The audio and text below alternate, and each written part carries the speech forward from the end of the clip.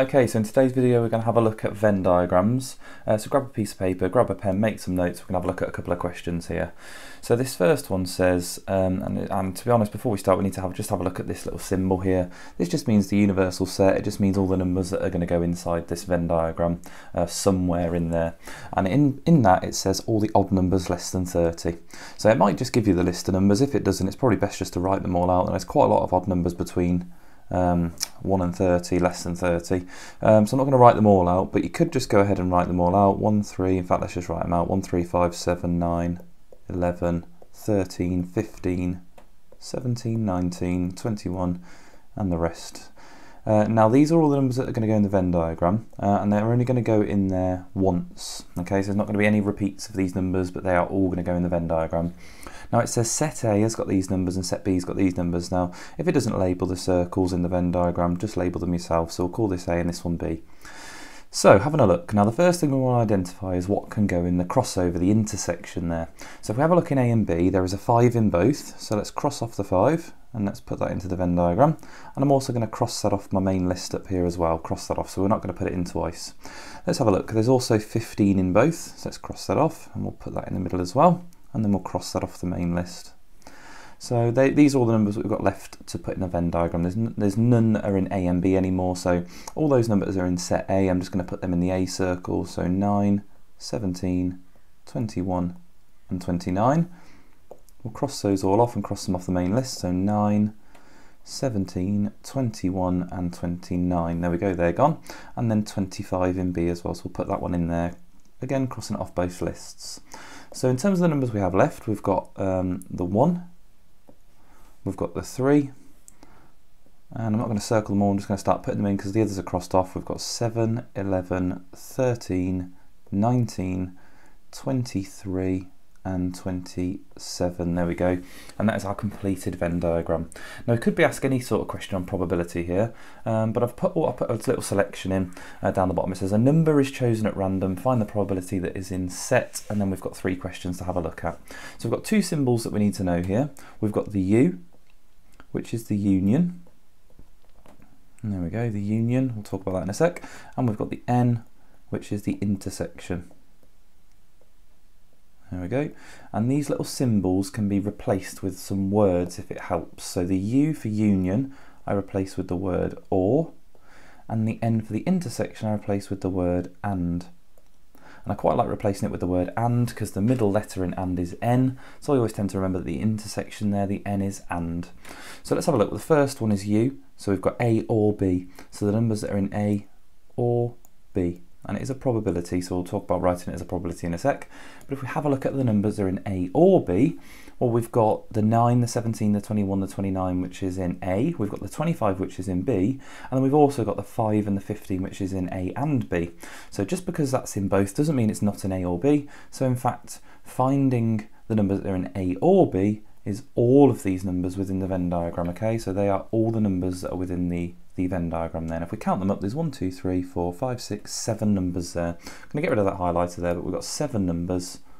So let's write that down. We've got seven numbers that are in A or B out of a total. And again, you can count them all from the Venn diagram or from that list that I did at the top, but all the odd numbers between uh, 1 and 30. There are 1, 2, 3, 4, 5, 6, 7, 8, 9, 10, 11, 12, 13, 14, 15 numbers. There you go. So it's 7 out of 15. So that word union if you think about that as like the United Kingdom, the United Kingdom, the Union is the collection of all the countries there, and it's the same for the Venn diagram. It's the collection of everything within that sort of uh, that land there. If you kind of imagine it like a country, you've got the collection of all the numbers. So you've got 7 over 15, and that is the union of A and B. Now if we have a look at the next one, so B we've got a NB, or the intersection of A and B, which again can be replaced with the word AND, so the numbers that are in A and B, well there are only those two numbers that are in both A and B, the 5 and the 15. So that there is the intersection, the numbers are in A and B, and if we write down the probability of that, that's two numbers out of, again, 15 numbers. There you go, so there's our two options there for the union or the intersection. Uh, I've also included this extra one here as well for C, which is A dash. Now if there's a dash with a letter, it means not in A. So all that little dash means is any of the numbers that are not in A. Now if you have a look at the numbers that are not in A, well we've got the 25 which is in B, that's not in A. we've got all these numbers around the outside that are not in A, but none of the other numbers. So we've got the numbers which are just in A, the 9, the 17, the 21, the 29, and we've also got the numbers that are in A and B, the 5 and the 15, but they are also in A, so we can't have those ones. So we're just looking at the numbers that are in B and the numbers on the outside. So we've got one number in B, and 1, 2, 3, 4, 5, 6, 7, 8 numbers there in green around the outside. 8 plus 1 is 9, so there are 9 numbers that are not in A, and again that's out of 15, writing it as a probability. Right, there we go. So that's everything that you could be asked here on a, on a Venn diagram where you've got two circles. Let's have a look at one where you've got three. Okay, so something a little bit different here where we've got three circles. Uh, again, so we've got all the same sorts of symbols, but we've got A, B and C to fill in here, and again some probability questions. But it says here the universal set here is the even numbers between 1 and 25. So if we write those down, we've got 2, 4, 6, 8, mm, 10, 12, 14. It's a bit annoying having to write all of these down, but and it's better just to write down these numbers and do this little easy task here than to miss some out and get it wrong just because you couldn't be bothered to write them down. So it's definitely worth writing them down. Let's have a look then. So finding what's in um, different know, multiple categories to start with. It's quite hard to spot, but I can see there there's an 8 in all of them. So if we cross off the 8 and we'll put 8 in the middle. There we go, and cross it off from our main list. Let's have a look. Are there any others that are in all of them? No. If we do find one that's in all of them, we can obviously go back and sort that out, but there's none, none others that I can see. So let's have a look in A and B. In A and B, there's a 16 in both. So there's a 16 in A and B. So let's cross that off, and A and B is this one here, so 16. Let's cross that off the main list. Having another look, there is nothing else that's in A and B, so let's have a look at B and C. Numbers that are in B and C, there's a 4 there, that's quite a nice one to see. So in B and C, that's this crossover here. So 4 in the crossover of B and C. Let's have a look if there are any others. 12, 20, 24, no. The only one last one we need to check is are there any that are in A and C? And there is, there's a 20. There you go, so there's 20 in A and C. So we can put that one in there, 20 in A and C. Right, okay, there we go. We just need to cross those numbers off the main list again, which I forgot to do. So cross off the 20, cross off the 4, and that's all of them there. 1, 2, 3, 4 numbers, and they're all crossed off. Okay, so left in A is 2. So we've got 2 left in A. Let's cross that off. We've got 6 left in B, and a 10. So 6 and 10. Let's cross that off the main list. 6 and 10. And then 12 and 24 to go into C. 12 and 24. Again, cross those off. 12 and 24 and then we've just got a few numbers left to go around the outside so we've got 14 up here in the main list 18 and 22 so 14 18 and 22 go on the outside box there right that's all the numbers put in so again we've got some probabilities so it says find the probability it's in A and B okay you can always write down the language there A and B that's the intersection of A and B so what numbers are in A and B now this can be a little bit tricky here because A and B you might think is, let's have a look, at this 16 here. But you've also got the 8. Now yes it's in C, but it is actually in A and B. Just because it's in C as well doesn't mean it's not in A and B. So we've got two numbers there that are in A and B. So as a probability here, let's have a look. That's going to be two numbers out of, and again just count how many are in that list at the top there. So 1, 2, 3, 4, 5, 6, 7, 8, 9, 10, 11, 12. So 2 out of 12. There you go. And you don't need to simplify these probabilities. It's fine to just to leave them there, even though that simplifies to one sixth. We can just leave that as it is. So the next one, we've got a U. We've got BUC. So let's have a look. That's B or C. There you go. So any number as are in B or C. And if we have a look, let's see what's in B or C. We've got all these numbers here that are in C and all these numbers here that are in B. So yes, some of them are in A, but they are the numbers that are in B or C. Okay, it doesn't say it can't be in A, but they are the numbers that are in B or C. So if we count those up, there's one, two, three, four, five in C, and then an additional one, two, three that are just in B there. So 5 plus 3 is 8. So we've got 8 numbers. Let's have a look, here we go. 8 numbers, again out of 12, and again it doesn't need to simplify. Okay, so just watch out for those when you get your three Venn diagrams there. Just It doesn't say that it can't be in A, so those numbers that are in B or C are all those numbers within the B and the C circle. And then the final one here, we've got C dash, okay, so there we go, not in C. There we are, and let's have a look what numbers are not in C. So we can't have any of these five numbers basically. So numbers that are not in C, we've got the 2, the 16, the 6, the 10, None of those numbers left in the Venn diagram there because they're all in C. And then we've got the 1, 2, 3 numbers on the outside. So our probability there will be the 1, 2, 3, 4, 5, 6, 7 numbers out of 12. There you go. So you just got to be very, very careful with these. Okay, I've got a couple for you to have a go at, so I'm going to open these on the screen now.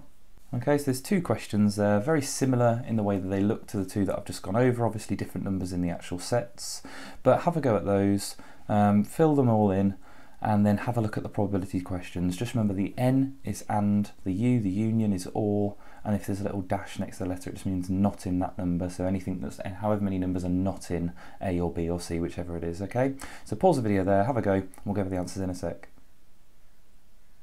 Okay, look at the answers then. So for this first one, let's start putting the numbers in. Even numbers less than 30. Um, well, I'll tell you what, I'm not going to write them all down because there's a lot of uh, space here, but let's just have a look. Uh, it's quite small. Let's see if we can get a little bit closer. Okay, right. So if we have a look at this one then, even numbers less than 30. Let's label this A and B to start with. And let's just write those numbers down. So 2, 4, 6, 8, 10. Let's just start writing them in. Okay, so if we have a look at the numbers in A and B, we just need to think which numbers there are going to be in both. And let's think we have 4, 6, 10, 16, 18, 22. Oh, are, there no, are there no numbers in both? Let's have a look. Oh, there we go. There's a 16 in both. Let's cross that off and stick that in the middle then. I'm just about going to be able to fit this in. There we go. Let's finish off this list. 26, 28, and well, that doesn't look like a 2.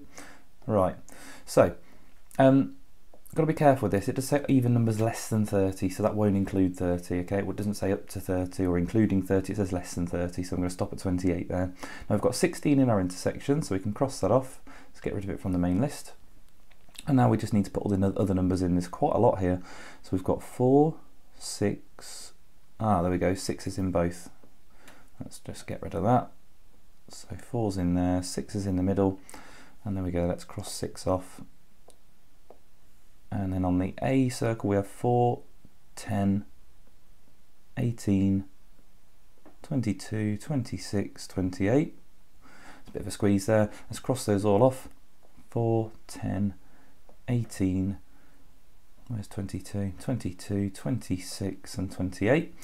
And then we can look at set B. So in set B there is an 8, a 12, a 14, and a 24. The good thing about crossing them all off the list is if you do do double one up here and you forget that it goes in the middle, you'll notice you've already crossed it off. So let's have a look. 8 we haven't crossed off, so 12, 14 and 24 at the end there.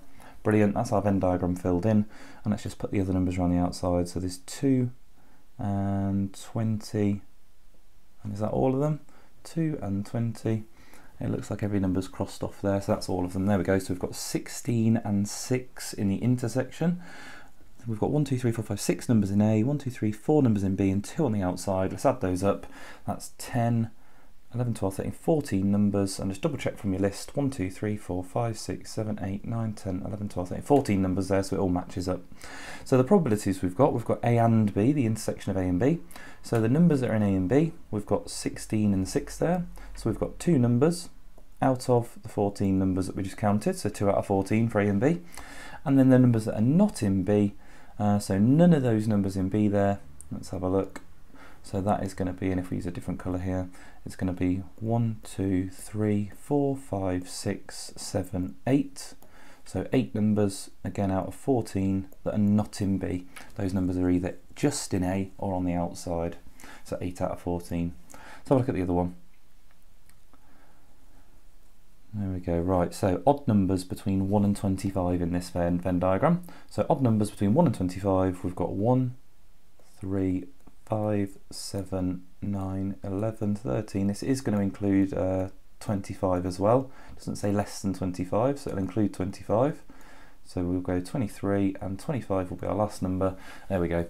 So in A it says 3, 5. Okay, like, well, we need to find what goes in the middle. So it looks like there's a 5 in all of them. So let's get rid of the 5 and stick that in the middle.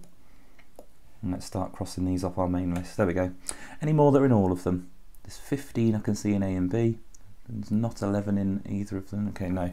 So there's nothing left to go into all of them. So in A and B, let's have a look. Um, in A and B, there is not a 3, not a 9. Uh, there's nothing. There's nothing that's in A and B. No, A's got a 9, a 15 and a 21. So nothing that goes into the A and B, this list little crossover here. So that's going to be left empty. So we can get rid of that, that's going to be empty. So in B and C, let's have a look. There is nothing in B and C either. There's an 11 and a 23 in B, but nothing in there. And let's have a look in A and C. There is a 15. There we go. So in A and C, we can put 15 in, cross that off, cross it off our main list. So in A, we've got 3, 9, and 21, which is definitely not in any of the others. So 3, 9, and 21. Cross that off the main list. 3, 9, 21. In B, there is 11 and 23. There we go, 11 and 23. Cross those off the main list. And then in C, there's 7 and 19. So 7 and 19. And again, cross those off the main list. And what's left over, we can stick around the outside. So if we put those into the outside, what have we got left? 1, 13, 17 and 25 that are going to go around the outside. Let's cross those off, make sure they're all gone. 1, 13, 17 and 25. Brilliant. So in our list, how many numbers did we have? 1, 2, 3, 4, 5, 6, 7, 8, 9, 10, 11, 12, 13 numbers. We can always write that down, 13 numbers. That'll be for our probabilities. And just count them in the Venn diagram. So 1, 2, 3, 4, 5, 6, 7, 8, 9, 10, 11, 12, 13. Perfect. There's 13 numbers in the Venn diagram. Matches what we needed. So our first probability here, we've got uh, a number is chosen at random, find the probabilities in A and C. So the numbers are in A and C. Let's have a look, let's highlight these. We've got the 15, which is in A and C, and we've got the 5, which is in A and C there as well. So we have two numbers out of, which the 13 that we've already counted, so 2 out of 13 are in A and in C. Now the next one, numbers are in B or C. So it doesn't explicitly say um, just in the crossover, not in the intersection, but numbers are in B or they're in C. So we've got 11, 23 and 5 that are in B and we've got 15, 7 and 19 that are in C. So if we count those up we've got 1, 2, 3, 4, 5, 6 numbers that are in B or in C and again that's going to be out of 13. Right there we go, there's our probabilities. Okay, right that is the end of this video for Venn diagrams then. Um, so hopefully found that useful. I'm going to make another video going over some harder Venn diagrams where you've got to actually start thinking about doing a little bit of um, sums to get your numbers into the Venn diagram. So I'll be making that video soon. But that there is just a, a little overview of some of the set theory and looking at the intersection and the union and, and just making sure that you put, put your numbers in carefully. But there we go. Hope you enjoyed that. Hope it was useful. Um, don't forget to like, comment and subscribe and I'll see you for the next one.